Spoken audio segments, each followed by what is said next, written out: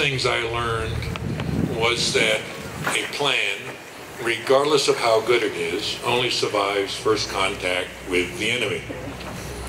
Uh, we've had some challenges this morning.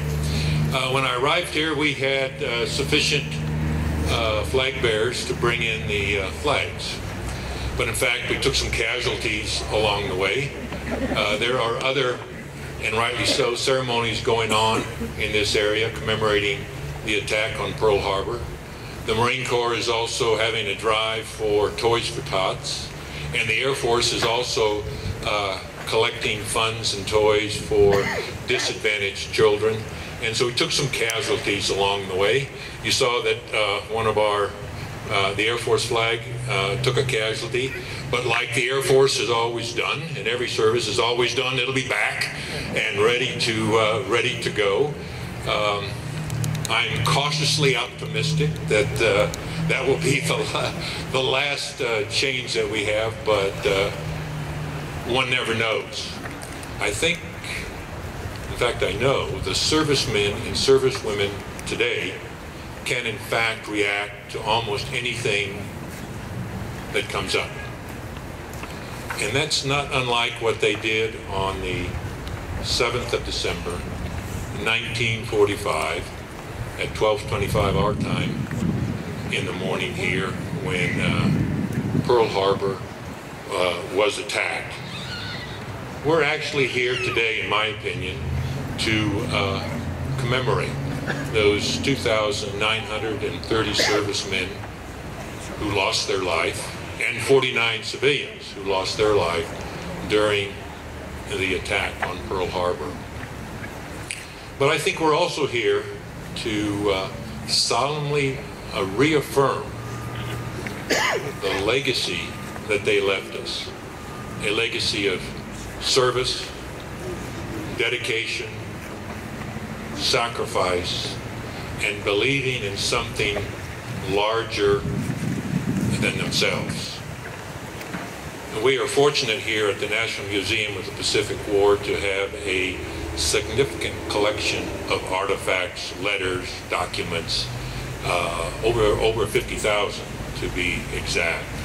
And I would like to ask one of the cadets from uh, the uh, Junior Naval ROTC at the Fredericksburg High School to come up and share with you a letter that we have that was written home by a sailor on the USS Arizona from Texas. Was written in November of 1941 explaining why he would not be able to come home for Christmas.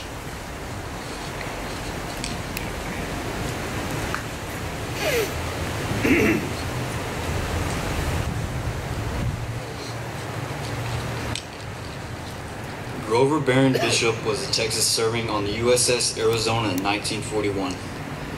This is an excerpt from one of his last letters home. USS Arizona 9 November 1941.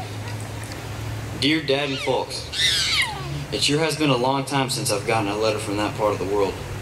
I'm beginning to wonder just why there isn't any more mail. Maybe there is so much cottonage in that you just don't have time.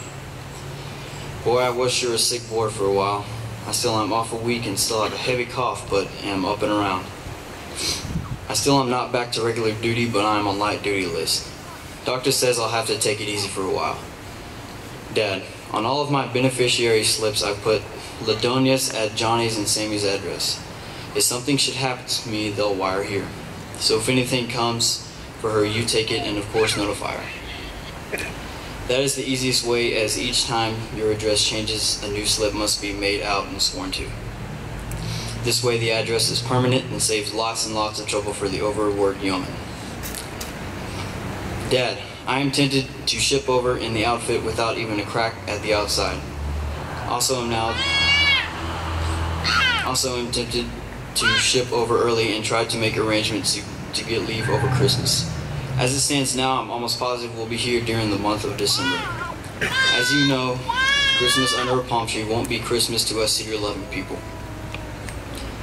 The Army seems to be having a little trouble over morale.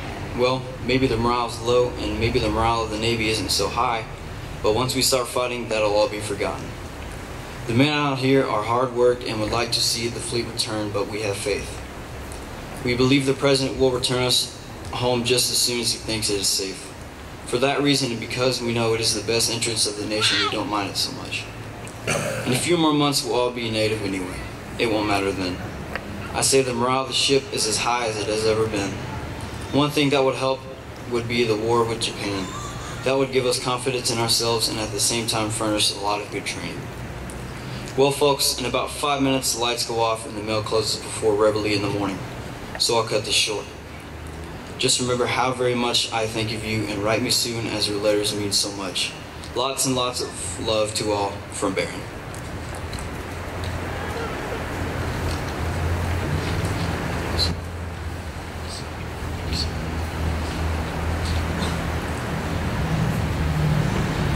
And one can read a lot of history about World War II and the major operations and the major battles, but to me, a letter like that, the stories that are represented by all the plaques here in the memorial courtyard really speak to what these men and women did uh, during uh, a very trying time uh, during, at the start and then during World War II. And yes, we are here to commemorate those individuals who paid the ultimate sacrifice on the 7th of December. But I think we're also here to honor those individuals who survived. And even though, as I talked about at the start, uh, about plans not always going the way that you hoped they would go, uh, they didn't whine, they didn't complain. They just got down to what they knew they had to do. And that was winning the war in the Pacific, which they did. It was also coming home as part of what Tom Brokaw called the greatest generation. Going to school, going back to farms, going back to businesses, and turning this country into the, in my opinion, economic, political, and diplomatic powerhouse that it is today. And we are fortunate to have four Pearl Harbor survivors with us today. I would like to uh, call out their names and recognize them. And if you can, sirs, uh, when I call your name, if, uh, if you would stand uh, to be recognized. First, an individual who drove down from Waco this morning in order to be with us, J.C. Alston.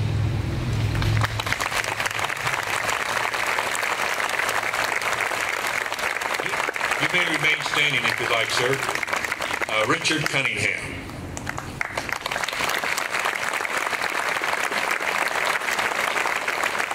Robert Brunk.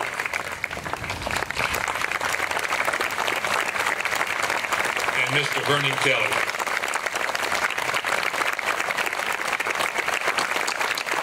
Thank you very much for what you did and the standards you have set for all young men and women in in the armed forces today.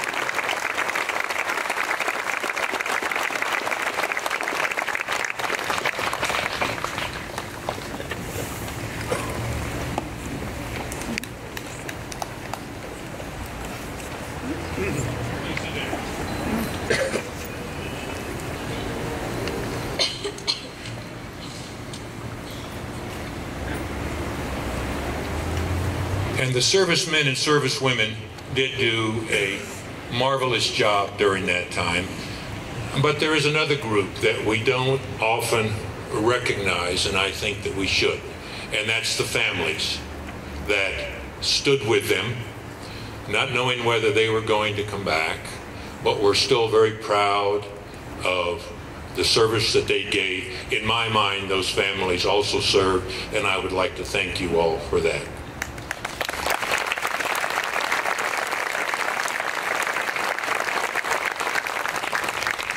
We have this great choir from the Heritage School, and I believe, if my information is correct, they are going to sing, at least part of uh, their program will be the service songs. And if you'd like, when your service song is played, you may stand up.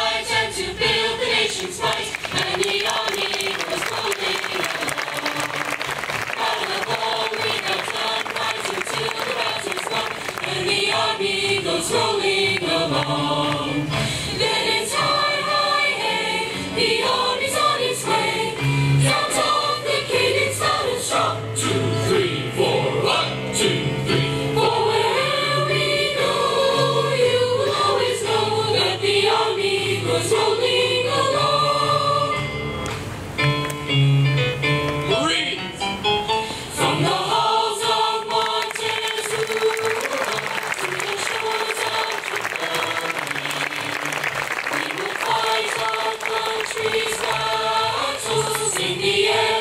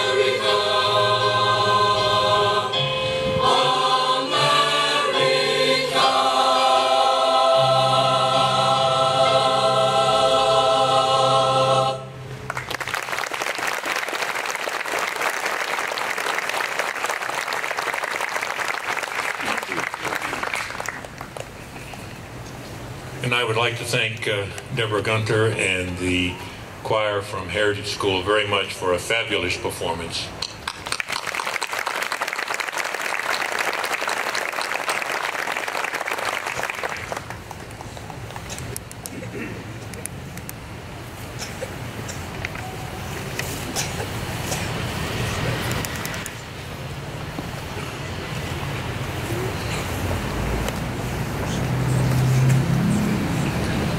Think we're really quite lucky here in this great community to have uh, young men and women who want to come here and want to participate uh, in this uh, commemoration and in this ceremony. I mean, that's that's the future of our country right there.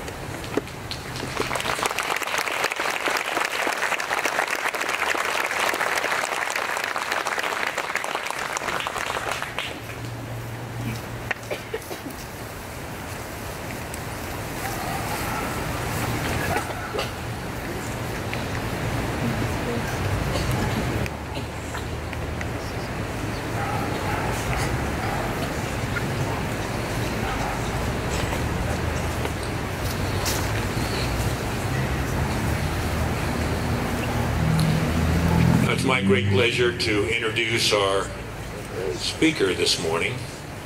And as my custom, I make an assumption that everyone can read. So I am not going to read his bio or uh, repeat his bio.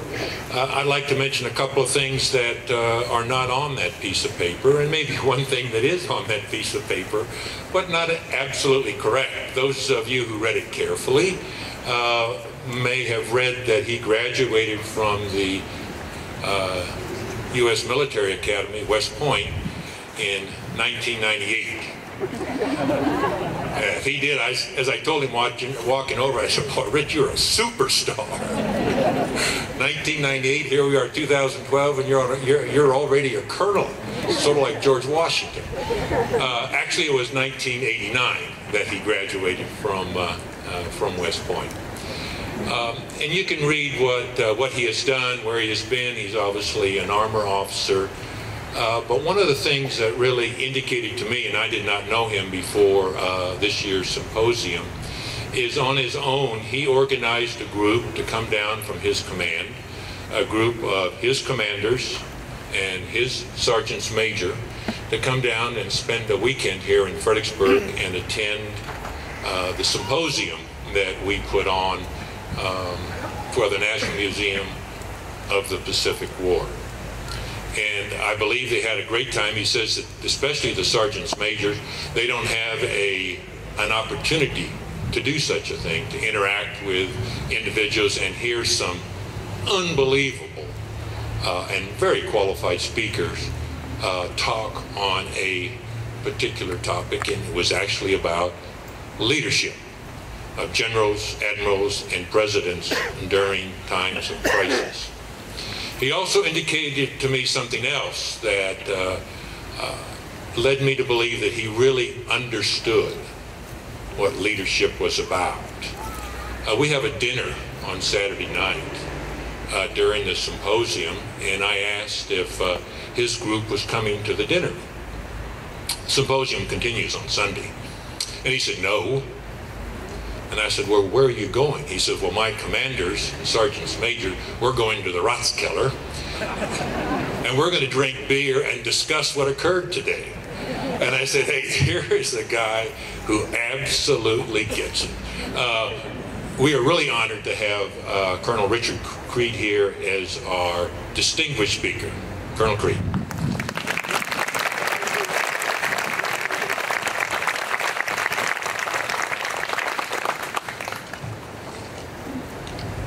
That's a really tough introduction to follow, and the chaplain put the double hex on me by saying uh, or asking for divine inspiration uh, on my behalf. So that's kind of tough. Uh, General Hagee, distinguished veterans, friends of the Nimitz Center and Pacific War Museum, ladies and gentlemen. Good morning to all of you, and thanks for attending this observance this morning. When I was asked to say a few words here, I was very quick to say yes, despite being an Army officer and knowing that the Army-Navy game is tomorrow afternoon. Uh, while not maybe being the most well thought out thing I've done recently. Uh, it's the greatest public speaking honor I've ever been asked to fulfill. I was told we would have Second World War veterans here today, including four Pearl Harbor survivors. Gentlemen, it was an honor to meet you this morning. Uh, and it seemed a big responsibility to come up with something meaningful to say to men uh, who lived through experiences to which most of us cannot easily relate, even as fellow veterans. It's unlikely that 70 years have erased the memories of that day in December or the years that followed. Sometimes we look at historical events as, as if they're a moment frozen in time without remembering the things that happened before or after that particular event, which probably affect even more people than were there that day. Pearl Harbor veterans don't suffer from any such misconception. The overwhelming number of sailors and soldiers involved in the battle at Pearl Harbor were men who volunteered to serve in peacetime out of a sense of duty or adventure, or simply because the service seemed like an honorable way to make a living and see the world. They weren't looking for a fight any more than the people serving in our armed forces 12 years ago were looking for a fight. They were simply doing their jobs in the service of their country when Japan attacked on December 7th. They were not naive or unaware that the world was a dangerous place before the bombs and torpedoes started dropping, as that letter from the Texan uh, to his parents indicated earlier. There was a war raging in China, and the Germans had overrun all of Western Europe. Submarines were sinking American ships in the Atlantic, and some of those ships belonged to the United States Navy.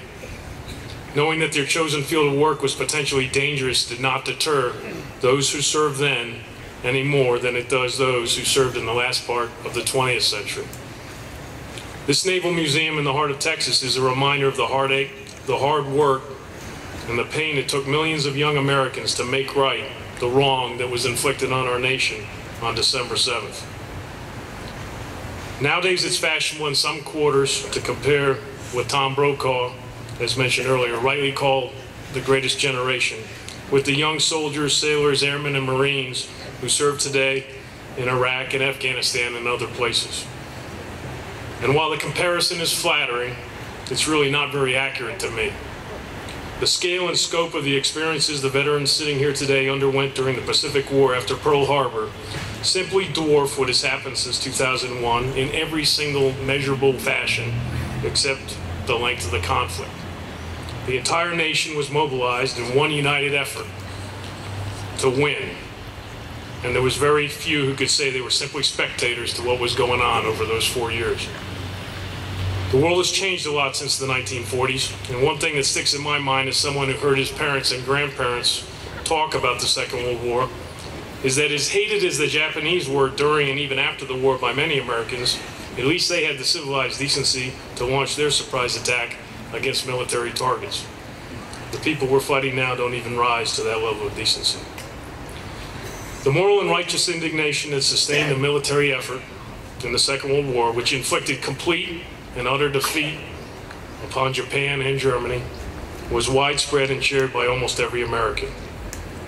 Being war weary in 1945 meant being tired of rationing, of knowing families who had lost loved ones, of losing sons, husbands, and brothers from every town and neighborhood in the country, at sea or on distant battlefields, with mind boggling regularity. That, thank God, has not happened in the last decade. That it has not happened should make us even more appreciative of the sacrifices of those who set the standard for duty and sacrifice in places like Pearl Harbor, or Midway, or Guadalcanal, Iwo Jima, and Okinawa. The world is still a dangerous place with people who want to do us harm, but really not as we are really not as outraged as we were when the ground was still smoking in New York, Washington, D.C., or Pennsylvania 10 years ago. We've lar- largely moved on. The people we're fighting or, and, and the ideology they represent are not easy to target or defeat following the conventional methods that we see in the museum in those displays. And instead of depending upon a national mobilization, we settle our national scores with our enemies using a relatively small number of professional soldiers, sailors, Marines, and airmen. And that's probably okay because our parents and grandparents, the veterans here today who went before us in the years that followed December 7, 1941, so completely succeeded at their jobs, their missions, their battles, and their war that they gave us the ability to be a little bit complacent. They made the world a better place by making the United States of America a superpower that can afford an elite military. And we need to be careful because we can squander that birthright if we're not careful. Future generations must contribute to a functional society and, and serve should the time to come to defend our nation come again. And as long as we grow heroes like the ones we found in 1941 and 2001, our world will be a safer and more secure place in which to live. The journey to unconditional victory in 1945 and the world as we know it now began 71 years ago today. We're proud to follow in the footsteps of those who made that journey. Thank you for this opportunity. God bless you, our armed forces, and the United States of America.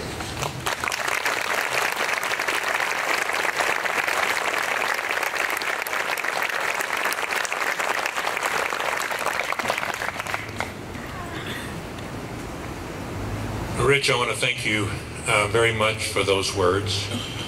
Do have a, but I do have a recommendation. You need to speak more often to a much wider audience to get that message out.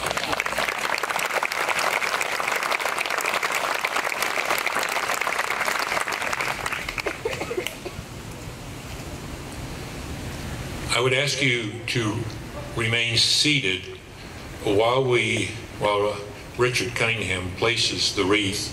And then once the wreath is placed, then I would ask you to stand as we have honors for those individuals who gave their lives.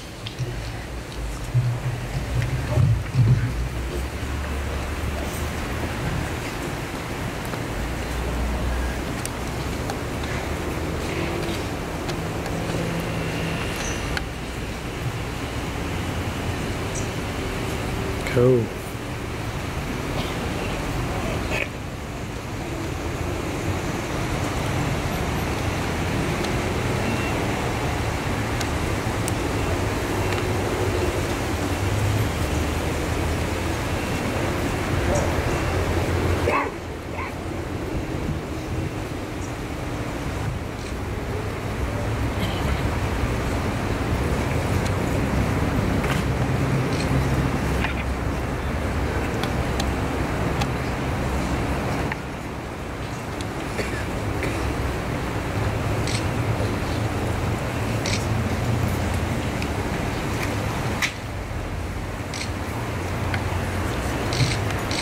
Please rise.